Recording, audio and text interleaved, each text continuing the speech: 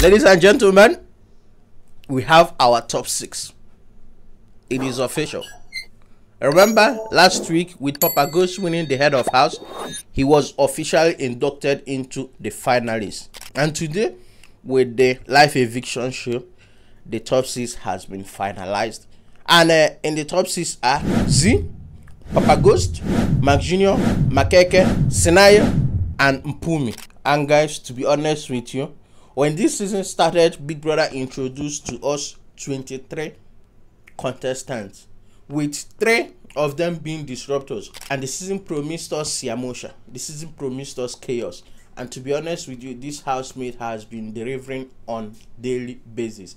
The way this housemate have been playing this game, even some of us, I feel like some of them have been uh, sitting quietly or playing the quiet game. At the end of the day, this is a game, and everybody is required to come with their own arsenal and their own strategy. I know at the end of this, some of them will feel like I didn't have any strategy coming into the show, or this is what my strategy was. But at the end of the day, coming into the show and meeting different personalities, I decided to adapt and uh, change.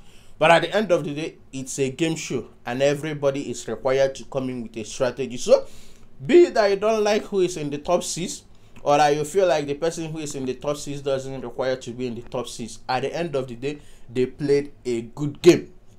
That is the reason why they are in the top six. I know for some reason I have been saying it and I have been calling Sinaye out from day one, who has been saving Sinaye. But to see him in the top six even with me saying that he hasn't been playing a normal game. And at the end of the day, I ask myself, what is a normal game? What is that game that Scenario will have to play to make me certify him as a top six material? At the end of the day, I'm not the one voting for him to stay in the house. Somebody is voting for him. And that person that is voting for him saw something in him that made that person certify Scenario as a top seed. Be it Z who will think, okay, some people have been saying that Z has been sitting in the house looking pretty. That Z is using her pretty privilege to be in that house. And at the end of the day, I'll have to say it again. This is a game. Someone was voting for her for a reason. Is it Mpumi? Guys, Mpumi has been playing that game from start to finish. And uh, we'll be on the lookout for whatever this housemate will, be, will do after the show? Or is it Makhekhe? Makhekhe has been true to himself. Makhekhe has stayed true to his root and to what he believed. Or is it Papa Ghost? A guy of small words. A guy that doesn't shout. A guy who knows what he is capable of whenever it comes to putting pen on paper. Or is it McJunior, the lone wolf? The guy who played the game being friends with nobody. Even certifying himself an automatic enemy number one to Papa Ghost, even without anything important happening between them? Or is it Mpumi? Or is it Zee?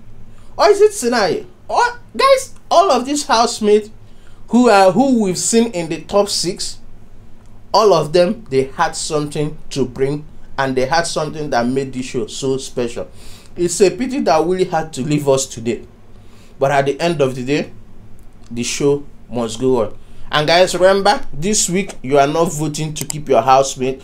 You are not voting to keep your favorite housemate in the show. You are voting for the winner of the show. So head on to Mzansi Maji and be on the lookout for the voting to be open so you can start voting. And as long as you are voting please also remember subscribe to this channel because i'm the guy that brings you everything that is going on inside the big brother house. Subscribe like this video let me know what your thoughts are in the comment section about this whole top six. Are you happy with the top six? If not tell me your reason why. If yes tell me your reason why. I'll be seeing you guys on the next one. Bye bye